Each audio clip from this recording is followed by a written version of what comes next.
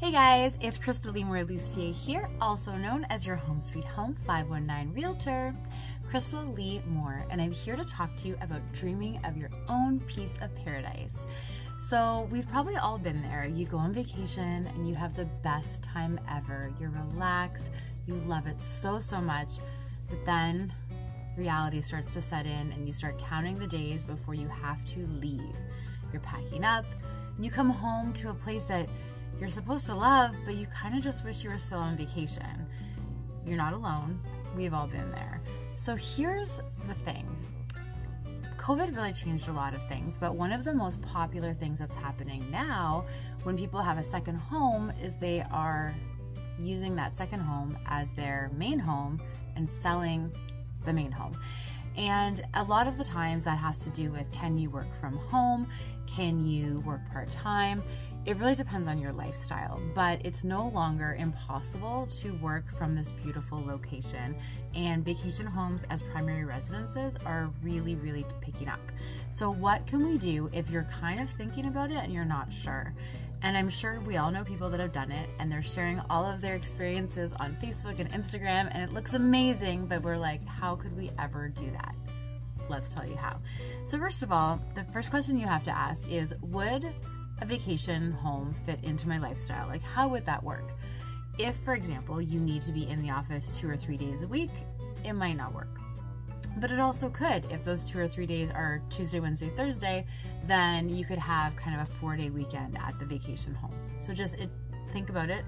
Um, and what about the future? What, what does that look like? So, a lot of the times, um, especially post COVID, a lot of us are thinking of kind of life shaping and career shaping so that we wake up just happy and energized every day. And it is making a difference in our mental health. It's better. So, whatever that looks like, we can also talk about how you make your primary residence feel like a vacation home, but that's not this video. Uh, the other thing to do is to research dream locations, including local laws and services, amenities. So we have a lot of, I know a lot of people that have moved kind of down to Costa Rica or to Florida, uh, Mexico. And what you can also do if you're kind of thinking about it is check Facebook groups. So I know for Mexico, there's an entire expat group of people that can answer questions, let, the, let you know, like, what would that look like to move down? And same thing, like if you're looking for, as a Canadian to move to Florida, there's an entire groups out there that are full of people happy to answer your questions. And some of them are going to be legitimate questions, like depending on where you live, what's the internet like? And what would tax look like? How do you earn money? If you wanted to get a second job, is that possible? So it's kind of things that you want to make sure that you're finding out what the questions are and then finding out what the answers are. Then we have discussing financing options and tax implications with a professional. So we can put you in touch with different lenders and different financial institutions that can help with purchases if you're looking to go into another country or overseas. Uh, but also if you're just looking here, like what does that look like to have the two homes or to sell one?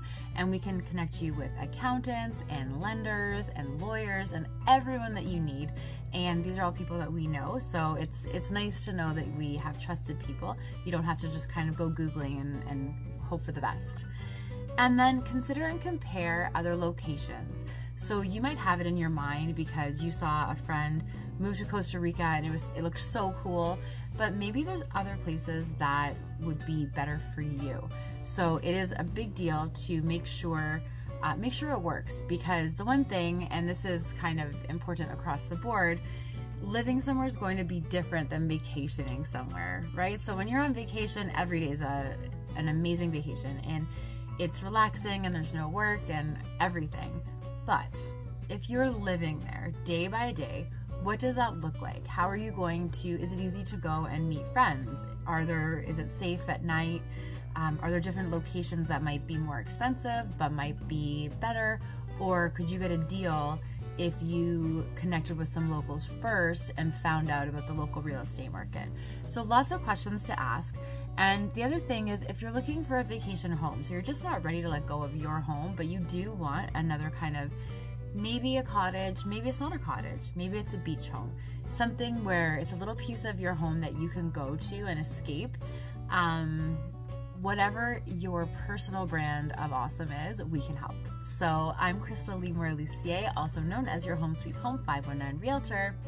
Krystal Lee I'm happy you're here and I can't wait to connect. Bye.